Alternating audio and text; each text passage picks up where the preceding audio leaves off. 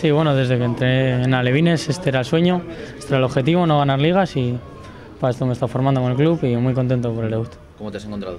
Bien, con confianza. ¿La salida cómo ha sido, David? ¿Con nervios o no?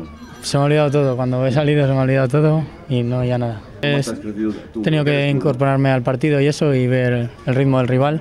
Sevilla, un rival fuerte y adaptarme, lo primero. Y también el club está igual en segunda B, pero el rival de hoy era un, un rival de primera de, de Europa y muy duro, y muy contento. Tenía, he tenido mis minutos y he intentado aprovecharlos al máximo y cuanto antes me incorporase, mejor. No, un honor que diga eso el entrenador de mí, ¿no? Lo más importante es lo que piense el entrenador y si piensa eso, bueno, todo bien. ¿Y a partir de ahora qué? David?